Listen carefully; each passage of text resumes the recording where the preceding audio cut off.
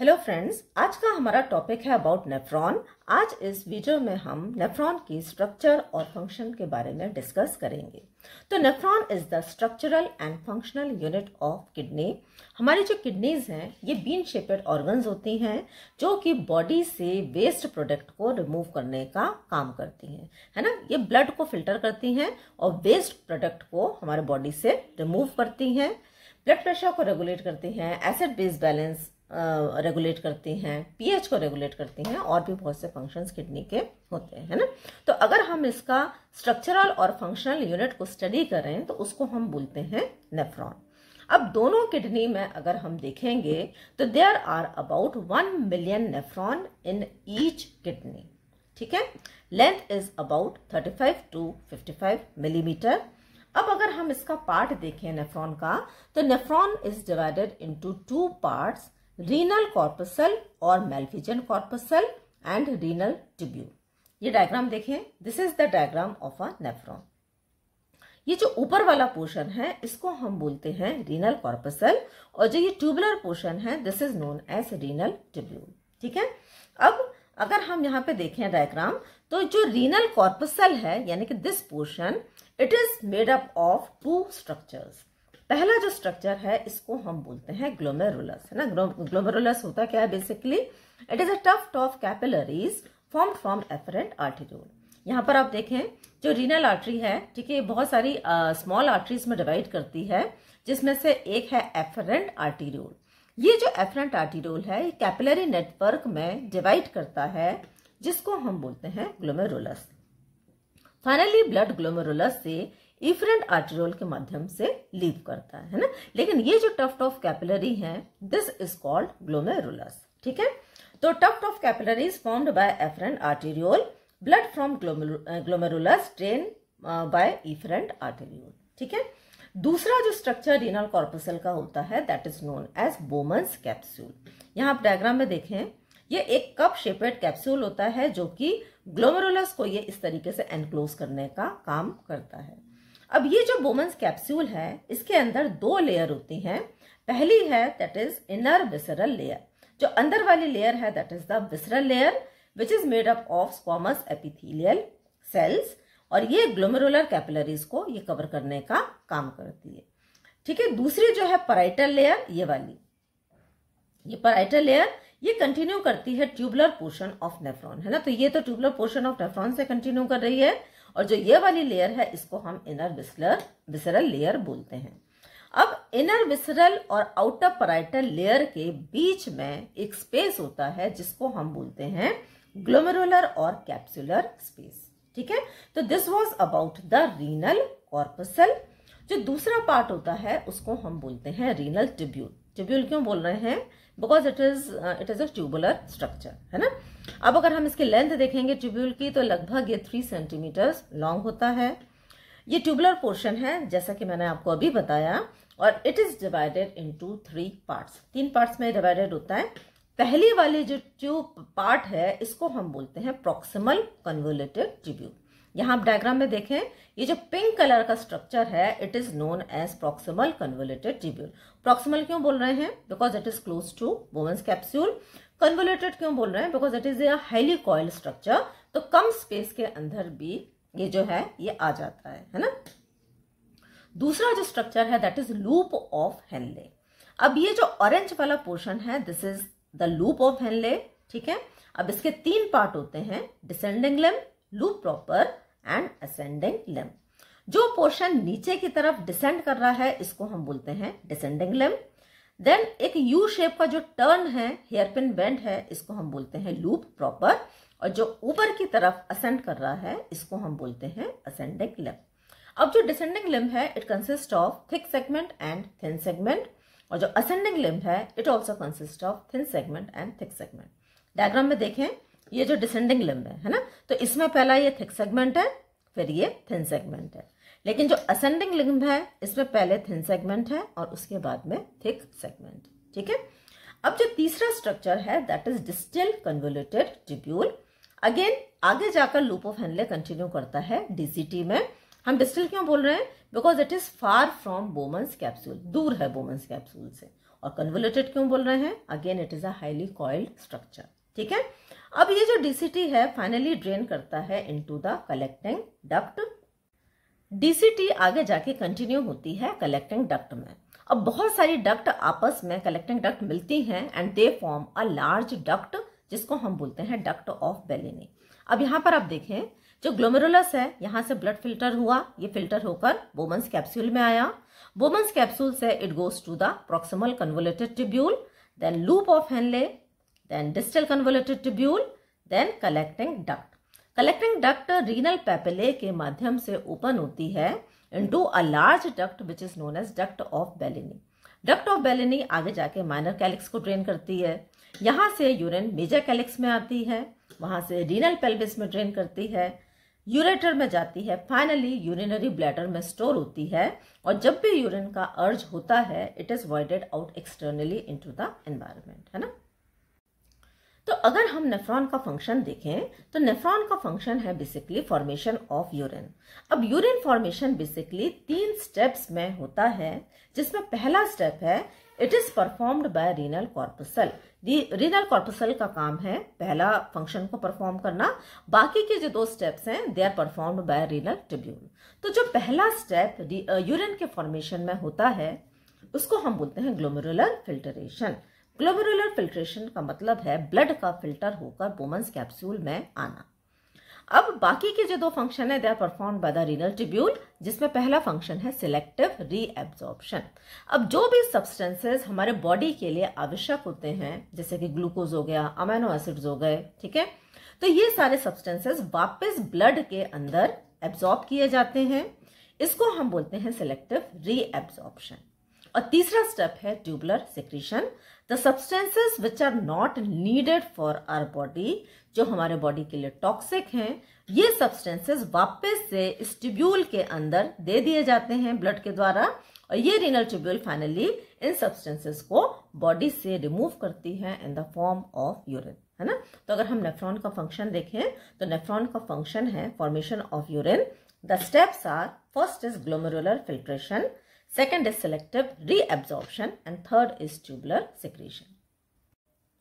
अब अगर हम नेफ्रॉन के टाइप्स देखें तो नेफ्रॉन्स को basically depending upon location we can divide them into two types पहला है कॉर्टिकल नेफ्रॉन और दूसरा है जक्स्टा मेडुलरी नेफ्रॉन यहाँ आप डायग्राम में देखें, ठीक है? ये वाला जो है दिस इज़ द डायग्राम उल्टे बन गए एक्चुअली में. This is the cortical nephron ये वाला, और जो ये वाला है this is the juxtamedullary nephron है ना? तो क्या डिफरेंसेस हैं दोनों के अंदर? देख लेते हैं हम। सबसे पहला डिफरेंस है location cortical nephron is present in outer two third of cortex यहाँ पर देखें, जो कॉर्टिकल ये जो ये जो पोर्शन है है ना? ये ऊपर वाला पोर्शन कॉटेक्स का है नीचे वाला पोर्शन मेडुला का है। तो कॉर्टिकल नेफ्रॉन कहाँ प्रेजेंट होते हैं? या outer two third of cortex में होते हैं। लेकिन जक्स्ट्रा मेडुलरी नेफ्रॉन ये देखें आप, ये ज़्यादातर पोर्शन कॉर्टिकल नेफ्रॉन का कॉटेक्स में जक्स्ट्रा मेडुलरी नेफ्रॉन का inner one third of cortex में प्रेजेंट होते हैं। ये अंदर की तरफ़ देखिए, है ना? ये आउटर टू थर्ड में है, ये inner one third of cortex में। दैट मीन्स हम ये बोल सकते हैं they are near medulla juxta का मतलब होता है near so they are present very close to medulla ठीक है? परसेंट अगर हम देखेंगे तो कॉर्टिकल नेफ्रॉन 85 परसेंट होते हैं।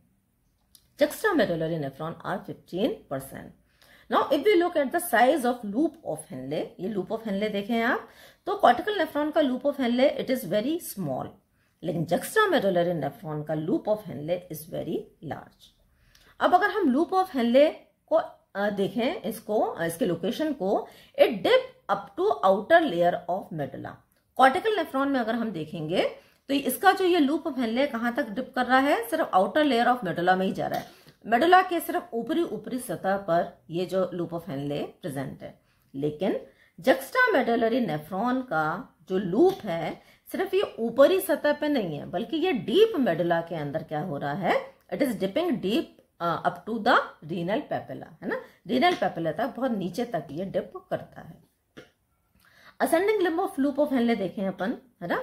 तो thick segment only cortical nephron में देखें ये जो this is the descending limb और ये जो असेंड कर रही है, इसमें सिर्फ़ थिक सेगमेंट होता है। लेकिन जक्स्ट्रा मेडुलरी नेफ्रॉन का जो लूप ऑफ़ हेनले है ascending limb ascending limb is this one तो इसमें ये थिन सेगमेंट है और जो ये वाला है this is the thick segment ठीक है?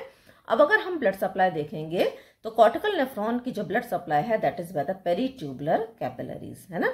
तो अगर हम कॉर्टिकल नेफ्रॉन देखें तो यहाँ पर इसकी ब्लड सप्लाई में इस तरीके से बहुत सारी कैपिलरीज इस रीनल ट्यूब्यूल को सराउंड करती हैं, जिनको हम बोलते हैं पेरीट्यूबुलर कैपिलरीज लेकिन जक्स्टा मेडोलरी नेफ्रॉन के अंदर जो कैपिलरीज सराउंड करती हैं, इनको हम बोलते हैं वासा ट्रेक्टा ठीक है? अब अगर फ़ंक्शन देखें तो कॉर्टिकल नेफ्रॉन का तो फ़ंक्शन है यूरिन को फॉर्म करना फॉर्मेशन ऑफ़ यूरिन लेकिन juxtamedullary nephron has one special function और वो है यूरिन को कॉन्सेंट्रेट करना, है ना? तो mainly they are involve in concentration of urine but इनका रेगुलर फ़ंक्शन तो है ही that is formation of urine now let us further study about the details of nephron तो नेफ्रॉन के हमने पार्ट्स अभी देखे, ठीक है? ग्लोमरुलस पोमन्स कैप्सूल जो कि रीनल कॉर्पसल को बनाते हैं पीसीटी लूप ऑफ़ हैंडले और DCT which are the part of renal tubule और then there is collecting duct तो जो ग्लोमरुलस है, ठीक है, ये एक कैपिलरी टफ्ट होता है। इसको जो सेल लाइन करता है दे आर एंडोथीलियल सेल और इनका काम क्या होता है? टू प्रोड्यूस ग्लोमेरुलर फिल्ट्रेट है ना? बोमन्स कैप्सूल ये कप शेपेड स्पेस होती है, जो कि फ्लैट एपिथीलियम से लाइंड होती है। रीनल कॉर्पसल यानी कि दोनों का ग्लोमेरुलस और बोमन्स कैप्सूल का काम होता है ग्लोमेरुलर फिल्ट्रेट को बनाना बाय ग्लोमेरुलर फिल्टरेशन अब जो प्रोक्सिमल कन्वलेटेड ट्यूब्यूल है, ये कॉइल्ड पोर्शन होता है, ठीक है? अभी अपन ने देखा था डायग्राम में क्यूबॉर्डल सेल्स लाइन करते हैं विद ब्रश बॉर्डर है ना? So they are line by brush border cuboidal cells इनका काम होता है reabsorption of large quantities of sodium chloride glucose water amino acids that means बहुत से ऐसे सब्सटेंसेस जो कि हमारी बॉडी के लिए बहुत इंपॉर्टेंट हैं, उनको ये लार्ज क्वांटिटी में रीएब्जॉर्ब करने का काम करता है। अब लूप ऑफ़ हेनले को अगर हम देखें तो इसमें एक थिक डिसेंडिंग सेगमेंट होता है, जो कि cuboidal cells with brush border से बना होता है, ठीक है? Thin descending segment loop proper thin ascending segment ये फ्लैट एपिथीलियम से बना होता है, और thick ascending segment it is made up of cuboidal epithelium without brush border है ना? तो यहाँ पे आप देखें, यहाँ पे ब्रश बॉर्डर है, यहाँ पे ब्रश बॉर्डर नहीं है, ठीक है? अब लूप ऑफ़ हेनले के क्या काम होते हैं? पहला काम है reabsorption of water and sodium chloride sodium chloride और वाटर को रीअब्जॉर्ब करना। दूसरा फ़ंक्शन है इसका यूरिन को कॉन्सेंट्रेट करना। और तीसरा फ़ंक्शन है इसका to maintain the osmolarity of medullary interstitium ये जो रीनल ट्रिब्यूल है, इसके आसपास का ये जो रीजन होता है मेडुला का इसको हम मेडुलरी इंटस्टिशियम बोलते हैं। तो इस मेडुलरी इंटस्टिशियम की ऑस्मोलैरिटी को बनाए रखना बहुत ज़रूरी है। It is important for urine to be concentrated तो ये जो लूप हेनले है मेडुला की ऑस्मोलैरिटी को बनाने का काम करता है। अब अगर हम डिस्टल कन्वोलेटेड ट्यूब्यूल देखें, ठीक है? तो जो लेट डीसीटी है they contain special type of epithelial cells है ना? डीसीटी में स्पेशल टाइप के सेल्स होते हैं। जो पहला सेल है दैट इज़ इंटरकैलिटेड सेल और आई सेल ठीक है? ये किसका बना होता है? Cuboidal epithelium without brush border और इसका काम होता है regulation of acid base balance of kidney है ना? किडनी के पीएच को यूरिन के पीएच को ये मेंटेन करने का काम करता है, ठीक है? और ये एक तरीके से यूरिन का पीएच मेंटेन होगा तो हमारा ब्लड का भी पीएच मेंटेन होगा and it will achieve the homeostasis है ना? अगेन यहाँ पर हम देखेंगे, ठीक है? और दूसरा है secretion of hydrogen ion potassium ion and ammonia okay अब जो प्रिंसिपल सेल्स हैं प्रिंसिपल सेल्स या फिर हम इनको पी सेल्स बोलते हैं, इनका काम होता है वाटर को रीएब्सॉर्ब करना और वाटर को रीएब्सॉर्ब करने में it is help by the hormone that is aldosterone aldosterone एक मिनरलोकॉर्टिकॉइड है, जो कि एड्रिनल कॉटेक्स के द्वारा रिलीज़ होता है वाटर को रीअब्जॉर्ब करने में ये हेल्प करता है। Reabsorption of water but with the help of anti diuretic hormone है ना? Anti diuretic hormone is release from posterior pituitary तो जो प्रिंसिपल सेल्स हैं ओवरऑल क्या कर रहे हैं? वाटर को रीअब्जॉर्ब कर रहे हैं। और जो इंटरकेलेटेड सेल्स और आई सेल्स हैं, ये बेसिकली क्या कर रहे हैं? पीएच को मेंटेन कर रहे हैं बाय सिक्रीटिंग हाइड्रोजन आयंस ठीक है? अब जो कलेक्टिंग ये किससे लाइंड होते हैं? Cuboidal epithelium with brush border है ना? दोनों। अब कलेक्टिंग डक्ट भी cuboidal epithelium with brush border से लाइन हो रही है। अब इसमें भी अगेन दो तरीके के सेल्स होते हैं प्रिंसिपल सेल्स और पी सेल इंटरकैलेटेड सेल्स और आई सेल है ना?